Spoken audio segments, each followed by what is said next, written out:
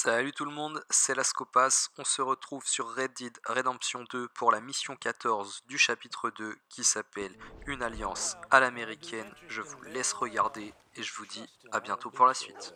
Please. I know how to work with good people, Seamus, and I work in the right way. They all say that. I never met an idiot that called himself one. Arthur, this is Seamus.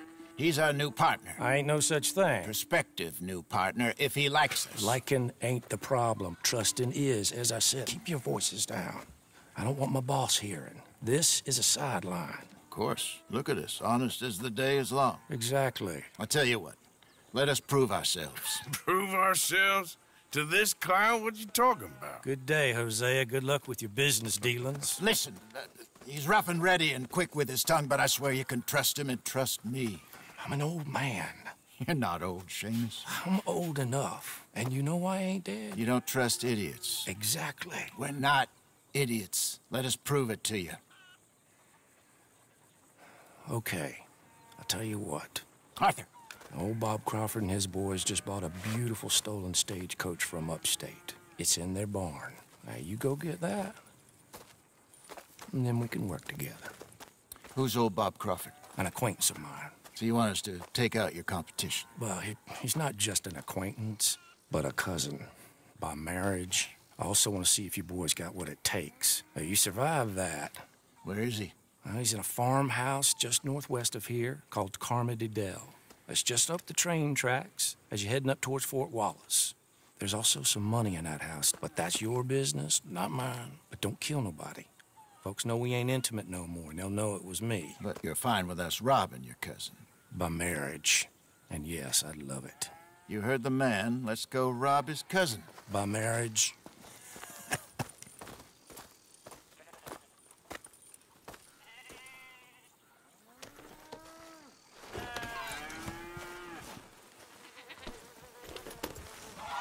Really? Really? Lead the way. He said the place is just northwest of here. Me? You're the one who's been out gallivanting around here. That's what you call it. Well, clearly you've recovered from your bear encounter.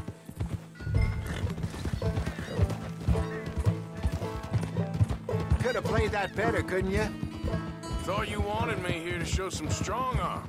That's usually how it goes. Yes, but you know how this works. Come on, Hosea. That feller's a joke. And that's why he's perfect. He won't cause us any problems. A safe spot to fence wagons and coaches, that's easy money for us. I guess you're right. Come on, it's not like he's asking us to rob a bank. If the two of us can't steal a stagecoach from Seamus's old crooked cousin by marriage, we should hang up our hats now.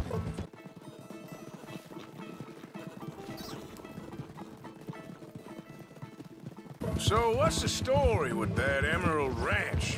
You find out anything else? A little. Owner's a nasty type by all accounts. Seamus is sure scared of him. That's not saying much. Something strange about the place. Used to be a saloon there, general store. Now it's all closed up, but they seem to have money. Sounds worth a look around. For sure. Seamus also mentioned the rancher's daughter a couple of times. How he used to see her around all the time, but now she never leaves the house. Probably just sweet on her. That what you call finding out a little? Once he opens up, hey, let's keep it down now. We must be close. That must be the place up ahead. We should go on foot from here. Let's see what we're dealing with. Come on.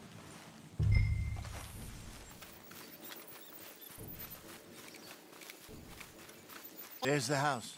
I see the barn in the back. Stagecoach has to be in there.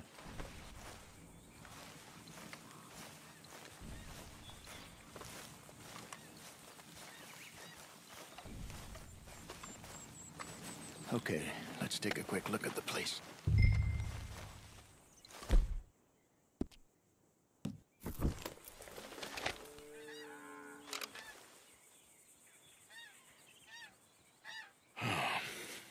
Anyone around?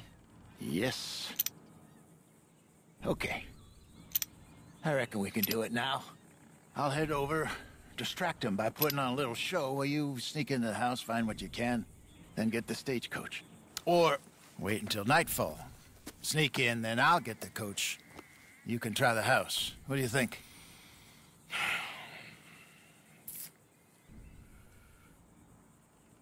Let's do it now. Sure. All right, then. Don't follow me.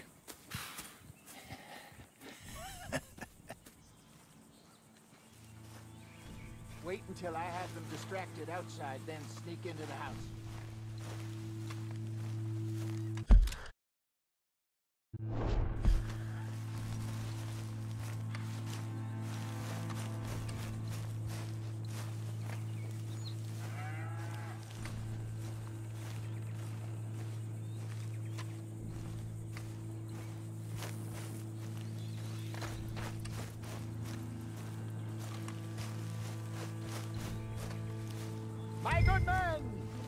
My good young man. Fairly well, fairly well. is your father home, Sonny? Sure is. Get him down here, please. Get, you know what? Oh, here he is. Are you the father of the house? Sure. Pleasure to meet you. That's just fabulous.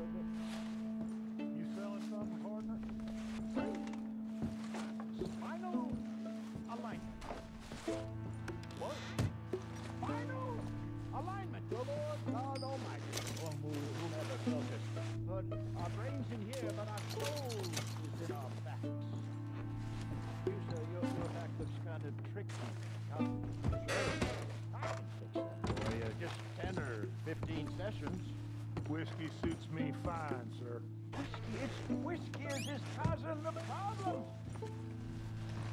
You ever meet a Scot who didn't hobble in old age?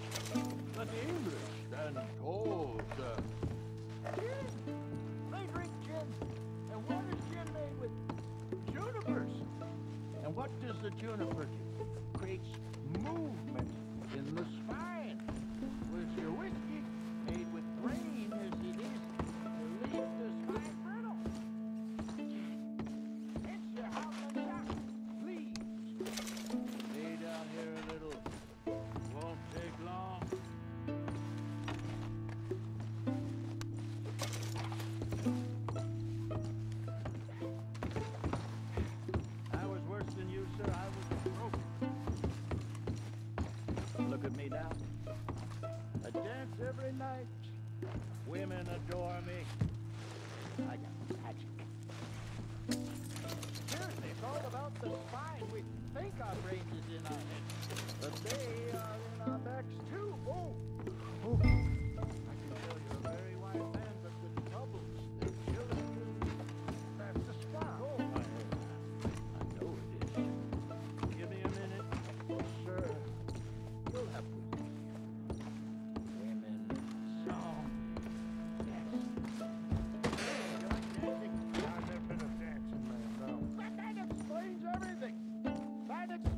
Then give me a minute, sir. Don't let those troubles kill you. Is That better? Just a bit. Yeah! Yeah! It's a, it's a little bit better. This session has been free, but perhaps I might call again. How much will it cost me? I'm offering you virility, and you're asking me about money, sir. I ain't made of money, Mr. My rates are reasonable. Have a think about it. I'll be around this way next.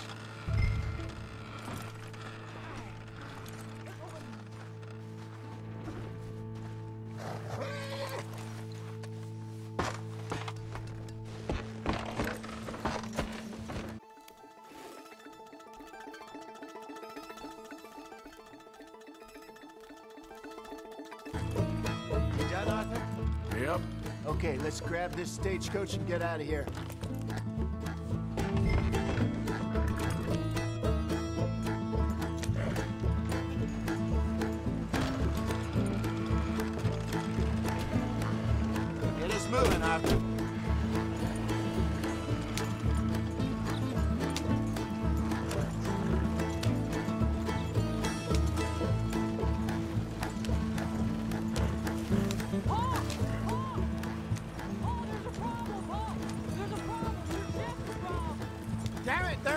Boss.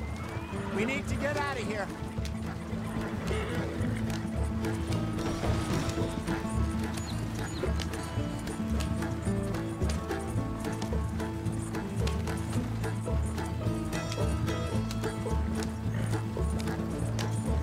Damn it, Arthur, you should have been more careful. Take it easy, Arthur. Yeah, sorry. I must have left the chest open.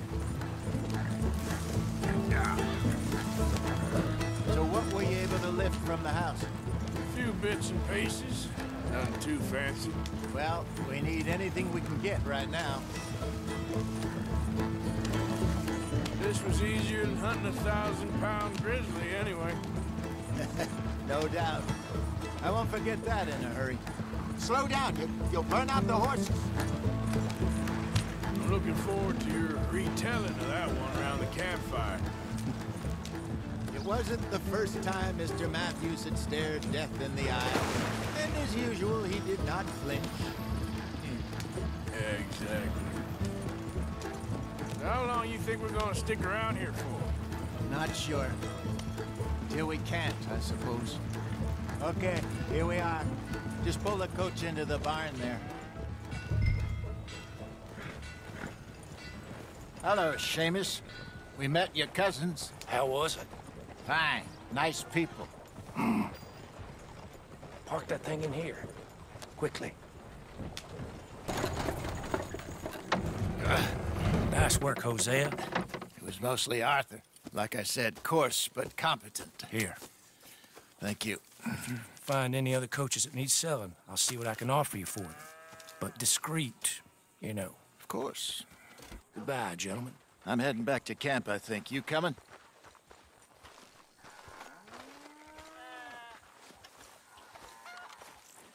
Sure.